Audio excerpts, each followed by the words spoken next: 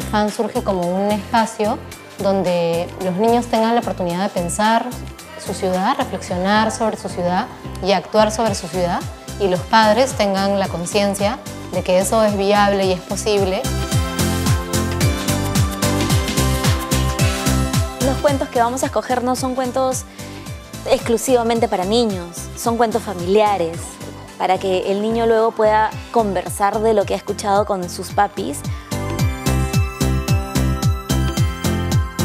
Trabajo para el FAN va a consistir en el desarrollo del taller de superhéroes para niños. Es un taller que consiste en que cada niño o niña eh, desarrolla su propio personaje, su superhéroe. Me parece importante eh, que los chicos puedan tener un acercamiento con el arte porque es una parte fundamental para poder conocernos, sensibilizarnos.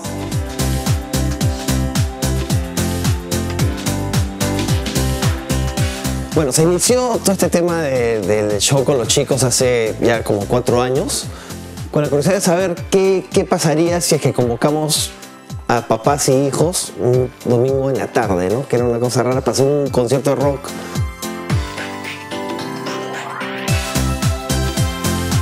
Eh, pueden venir al distrito no solamente a, comprar o a comer, ¿no? sino también hay otras cosas que pueden pasar en el distrito.